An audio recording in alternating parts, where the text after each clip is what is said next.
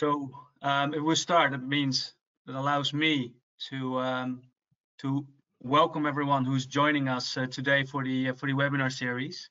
Um, we're very happy to to have everyone here. I see that the number is 179 um, and still increasing, so that that's very good. Um, so the first webinar of our series is an introduction to sustainability transitions with uh, the the chairman of the Sustainability Transitions Research Network, uh, Jochen, uh, thank you for joining us. Um, we, to, to go briefly, uh, I will give you a brief introduction about the webinar series in, in, in general, uh, what our plan is, and then um, Leo will take over from me um, moderating this uh, particular session with Jochen. Um, and afterwards the Q&A and we'll, we'll keep you posted on, on further further plans. Um, but first of all, to talk a bit about the, the webinar series and the plan what we have um, is, and with we, I'm talking about uh, these three guys, uh, Leo, Julius, uh, and myself, Abe. Um, we had the idea that we wanted to, to do a webinar series basically to, to, to get more early career researchers in uh, transition studies uh, connected and engaged in, in, in the uh, in a dialogue and in a conversation. Um, and we started it at just, just three faces with the names you might see around and don't hesitate to reach out to us in any uh, possible means. Twitter, Julius is very good at. Um, we're all on Twitter, email, uh, don't reach out, don't hesitate to reach out.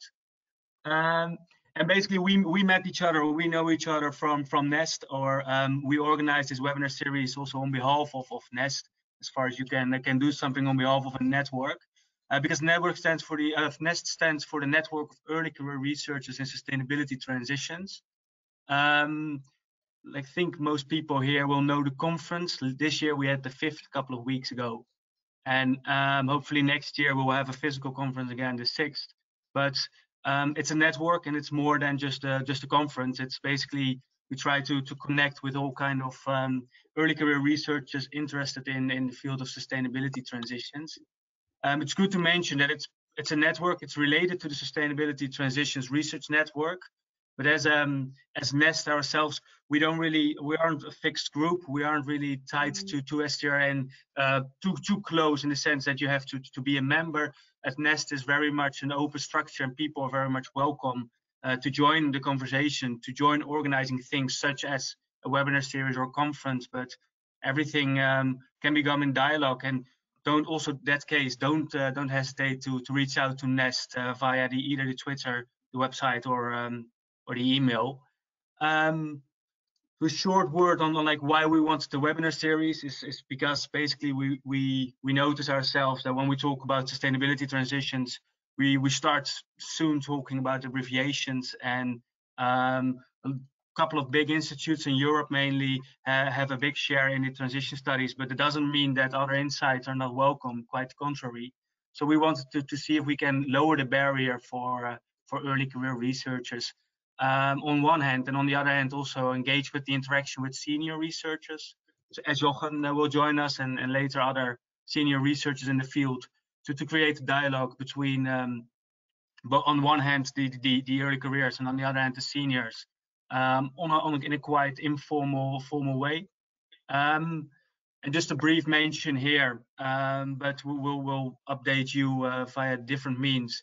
But we are planning to, we are now having the, the session with Jochen, and then we have are planning at least these three are set already, uh, the dates with uh, Marko Hekkert on uh, technological innovation systems, uh, Professor Geels uh, on the multi-level perspective, and with Karoline Rogge on policy mixes.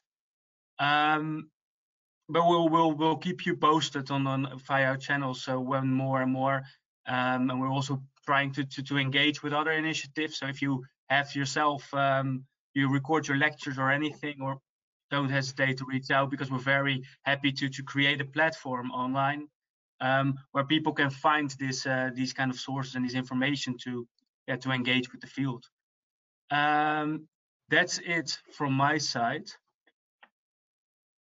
Do you think I forgot something, uh, guys? Um, maybe that this webinar will also be available on our um, YouTube channel. Um, maybe not next week, but eventually. and we try to put all of these videos that we'll collect in the next year um, on this video channel so that it's just available for everyone. So it's a, an inclusive way um, to yeah. yeah. make knowledge available throughout the the network, not just the Nest but also the STRN. Okay, yeah. Abe, then I take the moderator status from you and give it now to Jochen, and then Leo, you will start talking, isn't it? Absolutely. Perfect. Well, in that case, uh, thanks, Abe, for the introduction. My name is Leo, and I now have the great pleasure to first introduce Jochen Markard, our first speaker. Um, Jochen is uh, a senior researcher and lecturer at the Group for Sustainability and Technology within the Department of Management, Technology and Economics at ETH Zurich. And his work focuses on the interaction of technology and actor strategies, but also politics, policies, and institutional structures. And one of his central research interests is the emergence of new technological systems and the decline of existing ones. He's published basically in all relevant journals within sustainability transition studies and also beyond. That includes uh, Nature Energy, PNAS, Research Policy, of course, EIST, ERSS, you name it. And Jochen is also chairman of the STRN board, as we've already heard. At last year's Nest, um, he was introduced somewhat heretically as the high priest of sustainability transitions. So um, I could think of no one better to open this webinar series on core concepts in our research field. And we're very much excited to have you here, Jochen. Thank you so much for joining us. Okay, thank you. Thank you the, uh, thank you everybody for joining and thank you for organizing this. Um, when the three of you contacted me last last fall, I immediately liked the idea and um, of course then it took a while until we you got moving but then I mean I think now it's even more important to have such a thing and as you already pointed out we're we are not a, like a an established or a classical research fields with i mean where you can have classes or you, you have textbooks or other other material. And and for that reason of course i mean we have to i mean we have to get there at some point but we also have to develop tools that support us in this. And and for, with that background i think the webinar series is a is a very good idea to get better access to provide better access for newcomers. And of course i mean right now in these times, um, these mm-hmm. exploring new ways of how to exchange and discuss um, is, is more important than ever. And before I start, maybe um, a, a, few words. Um, so I, I, present what I what I will present now is is the perspective of one researcher in the field. I happen to be the chair, but what I will present is are my personal insights and my experiences. I hope it will be helpful and to some extent interesting, but obviously it's not, it will not be exhaustive. So I look at certain things, for example, some of the um, some of the slides I will show, they focus on climate. And of course, there are many other topics. And like as we have seen from the NEST conference a few weeks back, there are many different perspectives and very interesting ones. And um, yeah, I will not be able to to go into all of these. Also, I have um, prepared the slides for you beforehand. Um, I have provided a lot of references in the slides. Um, so it, it's also meant to be like a tool you can use later on and see whether, whether it helps you to navigate the field. Okay, with that we can start. So essentially the, the, the talk is split into two parts, if you will. So the first two parts are the introduction um, to the field. And then in the third and fourth, I address a few topics around the acceleration of transitions. And of course, I also spend a couple of slides on what is the current crisis and, and how do we deal with this, especially with regard to the other crisis out there, which is climate change.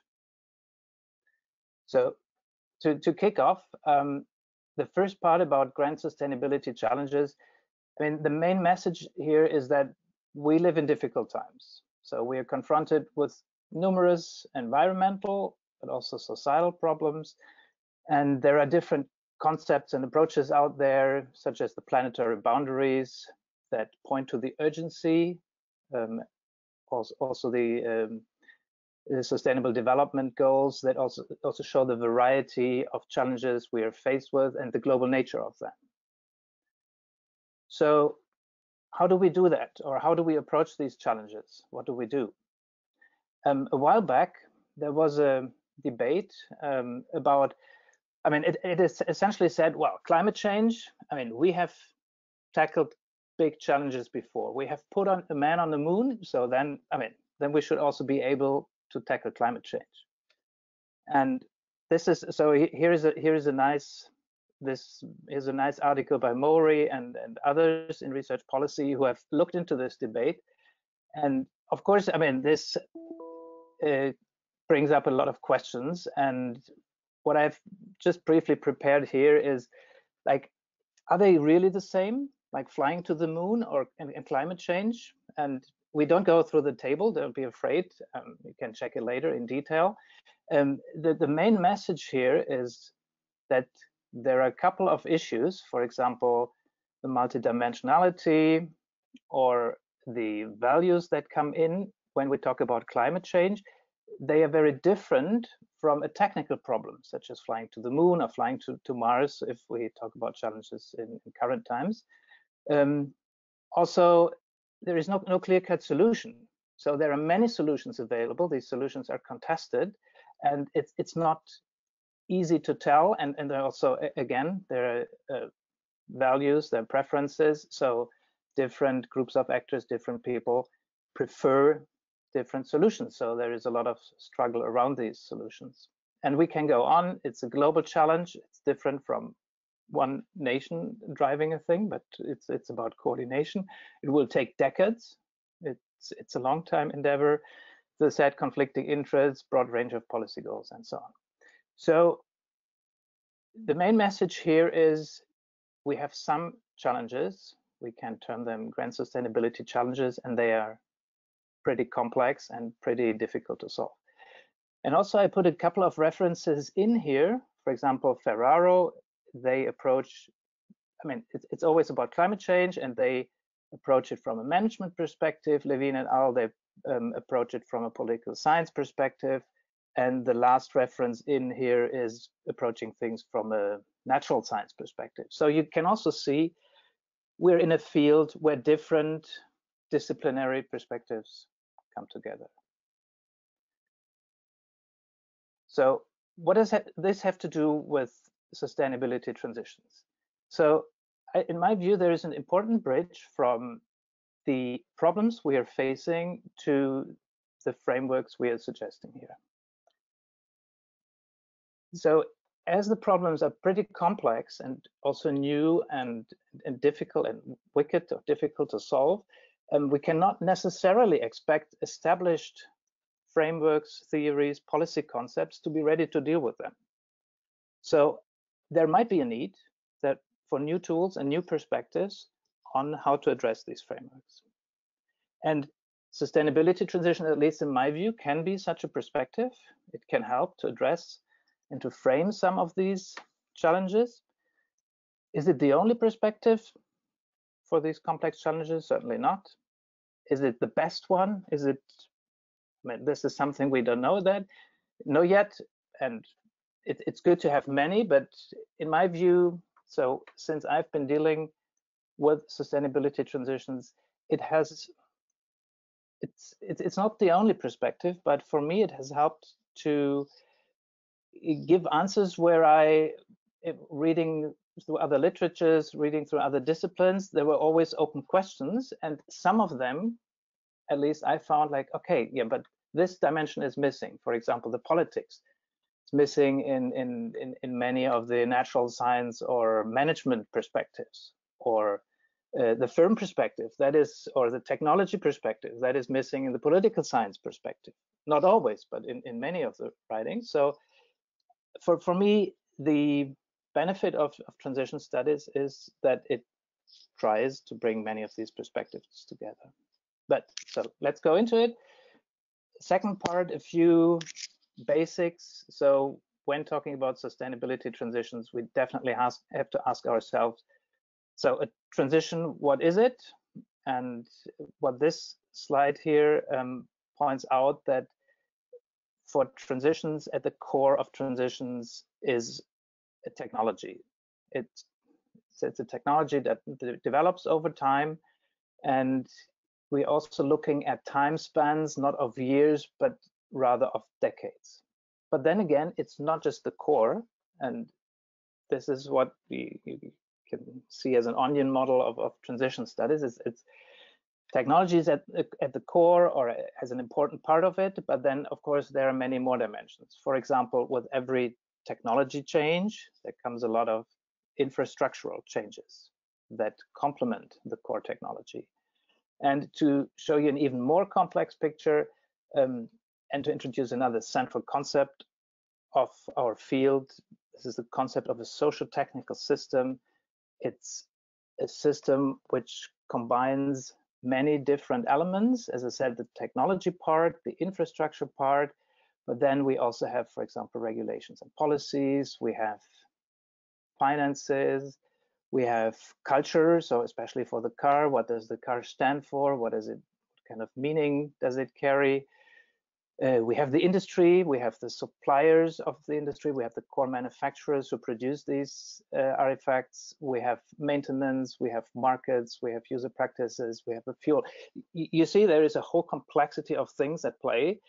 And the, the, the core idea is that always if you, you know, if you want these uh, social technical systems to change, then you have to um, think about many of the elements. You can start with one, but then, I mean, the others need to change as well. And this is one of the reasons which uh, make transitions a very difficult and complex process. To provide you with a definition, so social technical transitions are fundamental, sense of disruptive, competence destroying changes. They are multidimensional, this is what we saw in the slides before. Um, they're long-term and they're changes of these entire systems. And usually it helps me to think of a, of a system as these as one of these big sectors like transport or energy or agro-food. Um, it can be smaller. It's it's it's it's up to you how to define it. But um, usually we're talking about these very big systems in in much of the transition studies literature. Then, of course, now we know a bit what a social technical transition is. We also have to address the concept of sustainability transitions. And I usually def define it, I mean, this, that sustainability transition is a particular kind of social technical transition. It's, it's those social technical transitions that are associated with sustainability targets, usually set by, by um, public actors um, saying, okay, in let's say 2030 or in 2050, we want to arrive at a net uh, zero carbon uh, society. And this applies to, for example, transport and energy and other fields. So that means there is change needed, and this change is associated with sustainability targets. This might seem a little special why why why do we not say these are just sustainable transitions? Um, the question is, as, as, soon as you say the, the problem is, and, and I will discuss it also later. The, the question is, uh, the the issue is, as soon as you say sustainable, then the question comes up: what exactly is sustainable? And of course, our understanding of sustainability. I mean, first, we don't have a shared understanding of sustainability. This is what I showed before. Um, but then also our understanding of sustainability is likely to change all the time. So as we move on, and especially as we're talking about processes that go over decades, as we move on, also our understanding, also perhaps our priorities on which sustainability targets to address, all these things will change over time. Sustainability transitions can be viewed as a response, obviously, to the sustainability challenges discussed above. And there's also particularity when we look at our field, there is this implicit normative assumptions, uh, assumption that sectors like these big ones I mentioned, that they have to change. So this, for example, makes our field different from uh, scholars in the field of socio-ecological systems. Those, I mean, there you have a strong focus on keeping systems intact.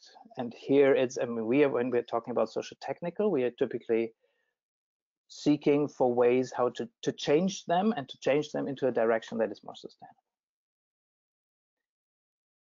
There are a lot of particularities of sustainability transitions. I will not go through them now in, in, in all detail. It's I think it's just important to have them on one slide to look at them later. Um, and, and, and these particularities, in a sense, they also reflect the, the, the complexities and dimensions we had we, we looked at before when we we were talking about climate change and why it's different from flying to the moon. For me, an important part of transitions and and this is also i mean we're here as part of the transitions community especially the nest uh, community um, there is this for me there's this personal element in this in, in the in, in the in our community. And i have experienced our field as a field where people come because they they're really interested in that topic. They want to do something about it. They want to can say change change it for the better or make it make it make a relevant contribution. And I, I, I like it you can you can say well is what what should be the distance of the researcher to the to the to the object of study. But for me this kind of uh, emotional contact with with the things you're studying and and and you you want to or you try to improve things for the better that's one of the main for me one of the main assets of our community. It's it's like i see a lot of people that want to make a difference rather than or in addition to pursuing a career and it's not the way it's it's not the other way around and that's that's important it's also i will show you a couple of, of, of numbers and, and and things but um, it's not so much about I don't know, the number of papers or the number of citations or the number of likes you get. But in the end, all these, at least to me, all these things we do are a means to an end and not an end in itself. So just to show you a bit more about the community. Um, so there is uh, the, the, core journal of transition studies. Um, there is the research agenda and also a selection, a special issue with selections, uh, with selected responses to this transition agenda to pro uh, provide guidance to the field. Then there are the uh, current statistics about how, how much is published in the field. It's a lot. Um, I, I, cannot keep up reading. I, I, try, but it's it's it's really a lot. Um, the newsletter four times a year. Um, of course, the conference, there was a, a report also we have um, made first first uh, impact on policy making. So that, for example, last year um, there was a report um, commissioned by the European Environment Agency um, that was solely focusing on sustainability transitions. And then, of course, we have the people behind it. We have, I mean, from, from those times that I've always took all the pictures from last year um, where we could st uh, still meet in person. Of course, there are these different kinds of events and uh, a nice network. So with that, um, I'm, I'm now turning uh, over to the um, to the more the, the next steps of, of, of research and where I think there are interesting things to be done. And um, I will particularly look into the topic of acceleration. And it, for me, it usually helps to, to think of transitions as developing in phases. Can discuss this later on. Um, but for many years, much of transition studies has focused on what I, what we can call the first phase. So this is about developing solutions for specific problems like cleaner technologies, sustainable innovation in a, in a broader sense. So here it's mostly about what are the barriers for new things to emerge. It's a classic, if you will, innovation studies topic. Later, and, and for example, now we see that the energy transition has moved into this phase, we see, wait, wait a moment, it's not just anymore about bringing technologies into the market and diffusing them more widely, but it's also about decline.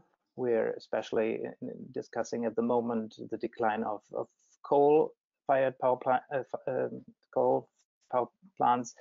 Um, there are changes in entire systems. It's not just one or two spots. This is what, oops, sorry. This is what I tried to picture here with this graph. So it's like in the first phase, you have singular innovations, but then it's like throwing a stone into a pond, then, then these waves go out. Um, whole systems are affected. And of course, it's about the acceleration and things are so innovation and transition changes are moving more quickly. Then again, and in the past, but also lately, researchers have also pointed out that as these transitions accelerate and widen in scope, um, there will be more and more sectors or systems interacting. So we see it in energy. There is a lot of discussion about coupling, for example, energy transition and transport or bringing clean electricity also to uh, heating sector or to other industries. You know, there is so different sectors involved, but also there is the uh, there is the risk of that we create new lock-ins. For example, when we are now pursuing different pathways like electrification or potentially hydrogen pathway. So we, we might create, or we certainly will create the associated infrastructures and that is also there's also a risk uh, a risk of course involved in that we create new new lock-ins and we might even have dead end pathways. So for example natural gas is, is is is promoted by some as okay it's definitely better than coal let's go for natural gas. But then again i mean if you're still building new pipelines today it's like okay but these things have to pay off for i don't know the next couple of decades so what does that mean for 2050 and zero carbon by then? So there are obviously uh, contradictions and conflicts in the system. And just to, to mention another thing that is coming up, um, we have been so far in transition studies, especially with this climate focus, um, primarily looked at, let's say, easy to decarbonize sectors. But then there are also these difficult to decarbonize industries. Uh, this is raw material or special materials like cement and steel, but this is also aviation, long distance heavyweight transport. Um, so there are also new challenges ahead, and these are these are the things that I think will um, will keep us busy uh, the next years. This I will not go through every detail of this slide, and I have uh, also sh shown this in, in, in, detail at the last IST conference. For here, just a few um, words on what are the next transition challenges, especially when we um, look at uh, transitions that are accelerating. So I go and and and the I pick the electric car as as as, as an example um, that can be used to illustrate many of these challenges. It, it's not the only one where this applies, but it can be used uh, quite nicely. And also, some of these topics um, have been picked up as in in these responses. They are they will be in the re, uh, in the references uh, in the responses to the STRN research agenda. So one topic is diversity. Andy Stirling has has pointed to this all along. Um, saying, okay, um, we have a certain pathway we are on, but there are competing technologies, competing configurations, and oftentimes it's it's beneficial to have a certain variety uh, to pursue different options at the same time. And, and especially in transport, we see the following. It seems, or, or much of the attention is now directed to electric cars, electric vehicles. And while that is certainly, I mean, that always happens when you're in the middle of a, of a hype. You cannot imagine that there are alternatives, but uh, definitely 10, 15 years before, there was a similar hype around hydrogen vehicles and fuel cells. And I mean, as we are in these innovation hypes and fancy technologies, we also sometimes tend to forget that there are other alternatives to transport. They might seem boring, but they also do their job. So in that sense, it's it's important to keep this variety. Um, this is a point I mentioned before, especially with acceleration, there's a risk of new lock-in.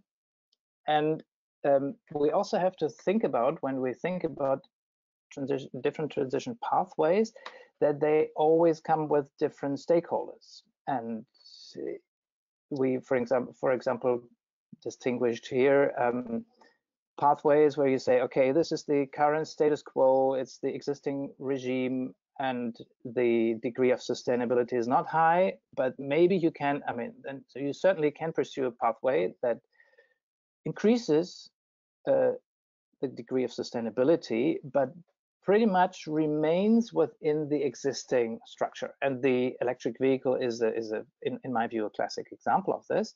Or you can say you follow a more disruptive pathway um, that is also more also provides more sustainability, but where there is a higher um, disruption, especially for incumbent actors. And of course, whether one or the other pathway is chosen, um, is a, is a matter of, of influence and it's also a matter of contestation and the associated politics.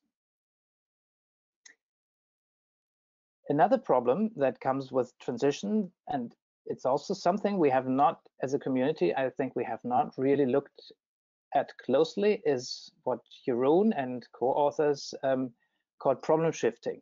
So that boils down to the question how sustainable how sustainable is the transition in the first place? And many times, for example, um, we think, oh, this is a nice solution, but then everything we scale up to serve, I don't know, hundreds, hundred thousands, millions. Um, then it's it's clear that it will create new problems somewhere else. A typical example, again, from electric vehicles is the lithium or the cobalt or the um, e-waste you create with the car batteries. And of course, it's great to have electric cars because they solve emissions, the emissions problem in cities. They um, don't contribute or they, they, they don't have CO2 emissions, all these things. But then again, we, we are shifting, we're shifting some of our problems to other communities, and that's something we have to be aware of and also address in the suggestions we make. A related issue is like, okay, let's focus on one issue. In the case of the electric vehicle, it's the oil, get rid of the oil. This is working, but the electric vehicle for sure is not a response to for the space we use in city and for, for solving congestion. So we look at one sustainability issue, but not at an entire system. So there is another challenge here. And of course, last but not least, there are trade-offs between different sustainability goals. Okay, I will skip the next slides. You can have a closer look uh, at them um, if, if you like later. Um, I would just go to uh, the uh, opening up to the, to the to a macro view on things. Um, like so far, we have mostly in transition studies looked at what we can call our pet systems, like energy, transport, water, food. Um, these have they, these are complex, these are big, these have strong technology components, but of course there are other things out there that change. And there are major systemic changes out there. This is, has been taken up in, in, in, the emerging literature on deep transitions. Um, but of course, there are, and just to give you a few examples, um, there are other technology, uh, other technological innovations. Transition scholars are typically not looking very closely at artificial intelligence, the entire wave of digitalization, automation, these kinds of things. We also have many changes in political systems that are currently going on with a recent paper on this. And of course, we also see in, in, in on the economic dimension that there are changes. And it's I think it's it's a it's a it's a it's a challenge for us because we typically landscape these things. So they're just out there, they're context factors. Of course, they're sometimes taken into account, but we do not really include them in, in our frameworks. Maybe it's also not our job to do that. But then again, I mean, like, for example, a, few weeks back when Giuseppe Feola presented his views at, at the NEST conference, um, it, it sometimes it's really important to look at bigger changes and, and having this macro perspective. And there is also a way of, I hope, of, of partly integrating these changes into our frameworks. All right, that was um, kind of a, a tour d'horizon um, on some of the acceleration challenges. And now in the last part, I will take a closer look at uh, climate change and the current corona crisis. This is work I've been doing in the last weeks and months uh, together with Danny Rosenbloom from the University of Toronto. And essentially, I mean, the argument is, is, is, if you will, pretty simple. We're essentially saying, okay, hey, time is running out. We need to act on climate change. We cannot, um, we cannot afford to wait and first solve one problem and then solve the other. Also, if we now spend billions on economic recovery for COVID-19, these resources will be missing um, if we don't use them immediately also for climate change. Well, this should be simple, at least you could think it's kind of straightforward. Unfortunately, we know from past experiences that the reflex, if there a major crisis like Corona hits, policymakers tend to, to re-stabilize incumbent industries. We see that in almost every country that, I mean, incumbents come out, they demand uh, subsidies, they de demand these recovery funds, of course, always with the argument uh, just to, to, to save jobs and, and, and to keep the system going that's understandable. And we, for example, we saw in the in the 2008-9 financial crisis, um, there were I, I don't know, were, in Germany there was a, with the car industry there was a premium to buy new cars. In uh, later in the Millennium drought in Australia, the answer was okay, let's go with incumbent technology. There is no water, why don't desalinate? And I mean, they also did other things, but the the the point here is the standard reflection, uh, the, standard reflex is typically go with what we have instead of exploring new things. Of course, this is understandable, and there is a paper I recently read, and I find it very interesting to describe how these lock-ins um, really work around uh, around the car and the car infrastructure. Um, you, you see that all these different dimensions are closely connected, and this is why it may, it's so difficult to deviate from the current pathway we're in. And um, and, and this obviously resonates well with the our understanding of social technical regimes in, in transition theory. And what we did on in in our papers on the um, on the corona crisis, we said, okay, we need to look at two key mechanisms that are core to at the core of transition studies. So one clearly is the disruption, landscape level event that disrupts the existing, and the other is um, is about the alternatives. So it's about innovation. And we said, okay, one strategy is to harness this disruption to accelerate decline. If you if you think in in as a, of, of a transition as a curve where where innovation diffuses and also on the other side where incumbent technologies decline, then this harnessing disruption strategy is an acceleration of decline. So we, our suggestion is to use the COVID-19 crisis and, and, and use this disruptive potential to, for example, get rid of fossil or reduce the amount of fossil fuels and what is then the the the, the specific strategy to do? Um, definitely don't buy bail out carbon intensive businesses um, because this only delays the transformation that is necessary anyway. And also perhaps better channel recovery to people and regions instead of firms. I know these things are contested, retraining, relocation, early retirement, build alternatives. It, it, it's time consuming, but just giving the money to the incumbents certainly will not do the job of also addressing climate change. And then the second part of the, the response is to um, look at innovation, the flip side, the, the, the core element of transition studies, um, to say, okay, what are the alternatives? What are the alternatives we can address immediately, and what are the, those we can address in the longer run?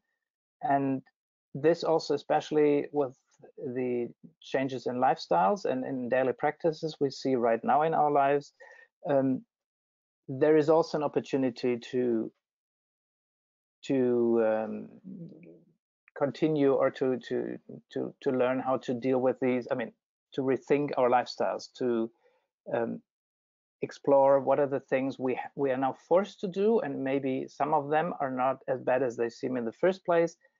Um, and that could be also a strategy for each one of us to do our part to for for a more sustainable or low carbon uh, world. Of course, the question here is, what can we do or what can policy do to have some of these more sustainable? I mean, we, for, for example, in cities like Berlin or Paris or, or London, we, we currently see how roads are transformed for, for, for cycling. And now you have space for bikes. And of course, it's it's also the season to bike. It, that certainly helps, but it's also, you know, then you get into exploring new things and doing things in a more sustainable way. That's definitely something I would like to seek to continue once the crisis should be over. Okay, with that, I guess we're at the end of the um, of what I wanted to share with you. Um, to wrap it up, I talked about the grand sustainability challenges, that they are special, that they need special frameworks to uh, to to uh, be studied with, and sustainability transition research, in my view, can provide such a framework. It can provide orientation. It also can provide policy insights in how to guide these transitions.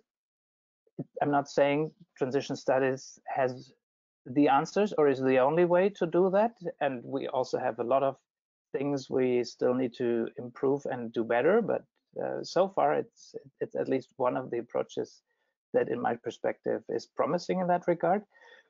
I also shared a few thoughts on acceleration challenges and new research uh, ideas that uh, we might want to address in the future. And of course, then what can we do, especially with the with the view on the current uh, Corona crisis? What can we potentially do to use it also to advance the climate agenda? All right. Thank you for listening.